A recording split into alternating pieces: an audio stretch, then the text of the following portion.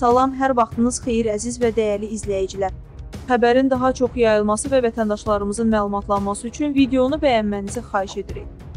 İranın Gülüstan əyalətindəki Azad şəhər bölgəsinin sünni cəmaatının imamı Mövləvi Məhəmməd Hüseyn Qorgicin son cümə xütbələrindən birində dediyi sözlər ölkə miqyasında qalmaqal yaratmaqla bərabər sünni şeyx ixtilafları və mübahisələrinin qızışmasına səbəb olub. Şeyx Ət Təfsir ləqəbi ilə tanınan və İran miqyasında məşhur din xadimi olan Mövləvi Qorgic sözü gedən xütbəsində şiələrin xəlifə Ömərə mənfi münasibətinin doğru olmadığını göstərmək üçün özünə məxsus bir dəlildən istifadə etməyə çalışıb.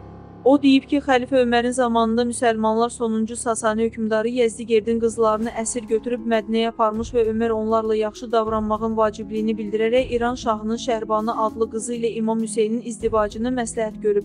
Onların nikah xütbəsini də şəxsən özü oxuyub. Həmin nikahdan İmam Zeynalabdin dünyaya gəlib və daha 9 imam həmən Şəhrbannın nəslindəndir. Əgər Ömərin xəlifəliyi sual altına alınarsa, o zalım və qəsbkər hesab sayılarsa, imamların hansı heysiyyətindən danışmaq olar? İmamların hansı düzgün əsl nəsəbindən söz açmaq olar?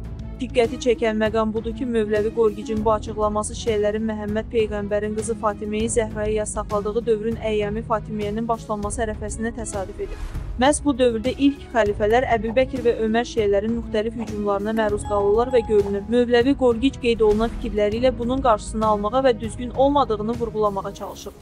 Ancaq xütbədə səsləndirilən fikirlər gözlənilənin əksinə nəticə verib və Mövləvi Qorgicin özü şeyləri təhqir etməkdə ittiham olunaraq müxtəlif şey mərkəzləri və ruhanilərinin qəzəbinə tuş gəlib.